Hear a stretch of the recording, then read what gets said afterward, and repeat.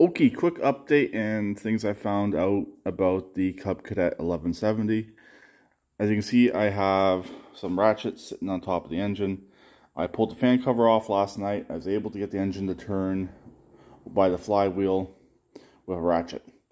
But it is turning the uh, starter. So the starter is engaged and is stuck pretty much to the flywheel.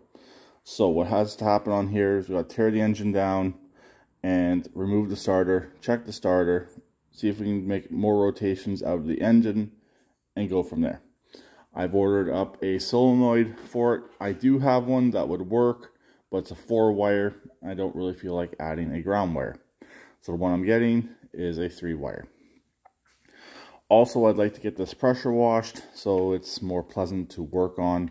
That's definitely one of my pet peeves, getting covered in grease while working on these uh, machines definitely don't like doing that too much anymore. So, gotta do that. That will be done today. The solenoid will be here tomorrow, and we'll look more into this in the next few days. I gotta get the other uh, Poulan XT done first, then this, and I technically have other machines as well. And I have a customer customer machine I'm waiting on parts for. So, once those parts come in, that's top priority. Then my machines always come afterwards. So that's the quick update on this.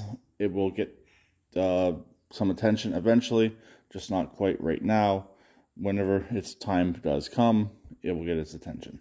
So I'll talk to you later. Please keep it redneck like always, and uh, please subscribe and comment.